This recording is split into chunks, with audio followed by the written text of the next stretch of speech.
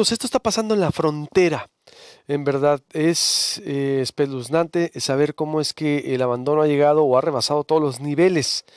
Mire este video que ayer circuló el periodista eh, Pedro Ultreras de Asuntos Internacionales en cuanto a migración e historia se refiere.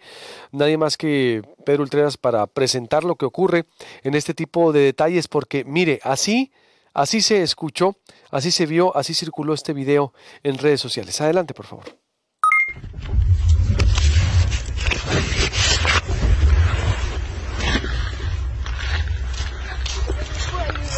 ¿Ah? ¿Me puede ayudar? ¿Qué pasó? Es que yo venía con un grupo de personas y me dejaron botar y no sé dónde están.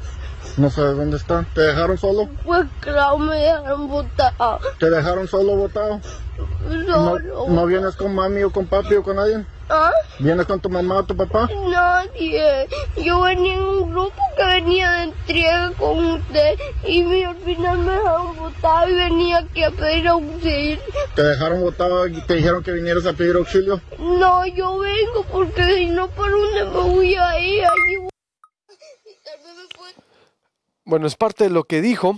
Y tus tweets, ¿cómo estás? Primero quiero, quiero darte la bienvenida. ¿Cómo estás, mi apreciado, Pedro Ultreras? Mucho sin hablar contigo, nomás te sigo ahí tus historias por el mundo en Instagram. Bueno, ya no tanto, ¿no? Porque no se puede viajar, pero todo lo que subes y actualizas, como siempre, al pendiente tuyo, mi estimado. ¿Cómo estás? Buenos días.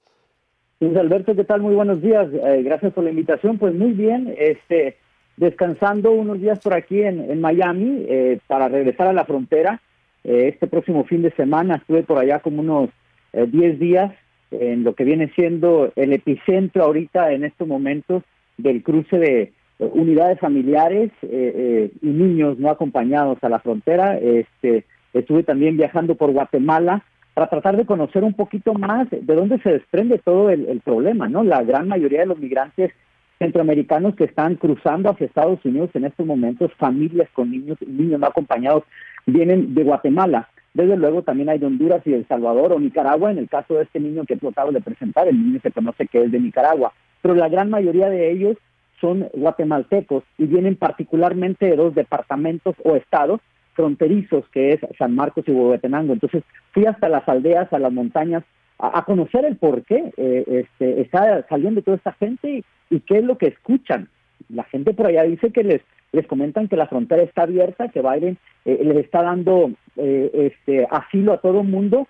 Y bueno, los traficantes de humanos están haciendo, eh, Luis Alberto, un trabajo fenomenal en aquella parte, haciendo creer a la gente eso por cantidades este, muy grandes, muy exageradas, y muchos de ellos están viniendo con familias completas, y estamos viendo ahora lo que está ocurriendo en la frontera, y tristemente eh, estamos viendo muchos casos como el de este niño, el de las dos eh, niñas eh, de 3 y 5 años de edad que fueron lanzadas de, una parte del, del muro por la parte de allá del estado de Nuevo México, niños solos este, que luego se encuentran en territorio estadounidense, Luis Alberto, abandonados, este, llorando, uh, ahora sí que a merced de cualquier peligro hasta que llega un agente fronterizo a rescatarlo, ¿no? Es, es lo que está pasando y bueno, ahora estoy descansando unos días, pero ya regreso este, este fin de semana nuevamente a la frontera, estimado amigo. Oye, mi Pedro, pero a ver, eh, primero, eh, ese video de el niño es guatemalteco, el niño entonces también. No, el niño este del que acabo de pasar es eh, nicaragüense. Hay pocos conocimientos sobre la historia de él, solo de uh, que fue encontrado al pie del, del, río, estaba solo. Al parecer, y esto es este, lo que se ha mencionado desde fuentes no identificadas de la patrulla fronteriza, recuerda que como son menores de edad, este, vienen no acompañados y cualquier menor de edad se cuida demasiado su información por parte de las autoridades. Entonces, lo que sabemos se filtra por familiares o alguien más externo que ya este, dio a conocer un poco. Él, eh, al parecer, tiene 10 años de edad. Eh, creo que venía con un grupo. Eh, muchos de estos grupos entran en la madrugada, una o dos de la mañana. Grupo de 100, 70, 200 o hasta 300 personas me ha tocado ver en, en días pasados en la frontera que se entregan. La patrulla fronteriza los puede recoger a las 6, 7 de la mañana después procesarlos desde ahí de la orilla del río. Y muchos de ellos vienen cansados, no han dormido por su trayecto por México, los tienen en casas de seguridad en la frontera mexicana, están exhaustos y al parecer este niño se quedó dormido con el grupo que venía, el grupo empezaba a avanzar y él se encontró después solo y empezó a caminar, eh, y por, eh, él dice me dejaron botado De hecho, el agente que lo encuentra ni siquiera como entendía muy bien la palabra votado, que sabemos tampoco no es muy común para, para nosotros en México, aunque lo conocemos desde luego. Y este eh, el niño no es guatemalteco, es de 10 años de edad, nicaragüense, y bueno, eh, inmediatamente lo llevaron. ¿Dónde lo abandonaron? ¿Dónde lo abandonaron? El, el, niño se, se, extravió en la parte del Río Grande, del Valle del Río Grande, la sección esa entre McAllen y Roma, Texas, que hace frontera con Reynosa, este, a la parte de Reynosa y Matamoros, por ahí, por, por, esta región. En la, frontera de Reynosa, Tamaulipas. Exactamente, en esa región que viene siendo en la parte de Estados Unidos se le conoce como el, el, Valle del Río Grande, ¿no? Pero por la parte mexicana conforma los estados de este, Tamaulipas y alcanza una parte de, de, de Nuevo Laredo también. Oye, Pedro, y me llamaba mucho la atención tus tweets. Digo, tú que conoces también la frontera y que la has recorrido y que la has documentado de ambos lados, porque dices, esto está fuera de control y es horroroso, y dabas a conocer estos videos, y como dices también, como nunca entonces estamos asistiendo a un episodio en donde los traficantes humanos, como comentabas, están haciendo creer a la gente que está abierta la frontera, les cobran cantidades exorbitantes, y hay una, hay algo entonces o algo inédito a lo que estamos asistiendo, Pedro. Mira, eh, uh, llevo yo, a Luis Alberto, 20 años aproximadamente cubriendo la frontera, eh, frontera México-Estados Unidos y también la frontera, la frontera sur, eh, México-Guatemala. A mí no me había tocado ver una situación como esta, ni siquiera en el 2014, que fue fuerte, en 2016, el 2018, vimos otro episodio grande. Lo que yo he estado viendo, personalmente, me pareció un caos total. Ver por el área del Río Grande, que esto hace frontera, se llama Roma, el, lado americano, el lado mexicano es ciudad, ciudad alemán, Tamaulipas, un descontrol total. O sea, los traficantes de personas, los polleros, vienen y en balsas, que estoy viendo cada 5 o 10 minutos, están trayendo balsas inflables que le caben hasta 15, 17 personas, le, lleguen le llegan a meter, y los dejan el lado americano en un descaro total frente a las autoridades migratorias a dos o tres metros están las autoridades migratorias prácticamente diciéndole a los polleros dónde puedan eh, este, a parar sus balsitas para que las familias y los niños se bajen y no vayan a, sufrir algún algún este algún accidente. Y yo le preguntaba y cuestionaba a un agente migratorio, pero ¿por qué no los detienes? Los tienes a dos metros de distancia. O sea, tú los estás guiando para ver dónde, eh, para que se paren de este lado, en el lado americano, y puedan bajar a toda esta gente que traen, que son puras familias con niños y niños solos, y me decía, mira, nos sentimos frustrados y sentimos las manos atadas, porque sí, los tengo a dos o tres metros de distancia, pero si yo me lanzo al agua, a la orilla del agua, para tratar de atrapar a uno de estos polleros, corre el gran riesgo, se corre el gran riesgo de que la balsa se, se, se, se hunda, se dé vuelta, la gente se caiga y algún niño o alguna persona, un adulto se pueda ahogar. Entonces viene un problema enorme para la patrulla fronteriza. Entonces, por ahora lo más importante es la seguridad de ellos. Y como hay muchos viviendo, lo único que podemos hacer es guiarlos para que puedan eh, este, decirle a la gente que se baje con seguridad y nosotros ya aquí encargarnos de las personas.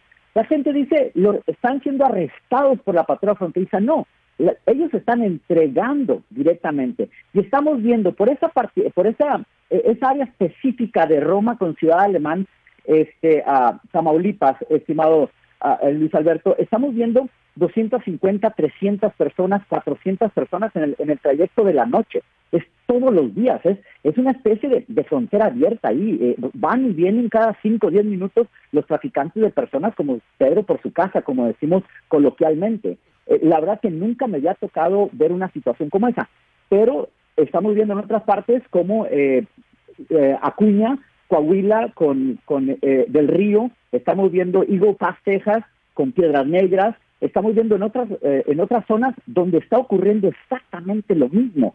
Y en mis años recorriendo la frontera no me había tocado ver tanta gente entrando al mismo tiempo de esta manera.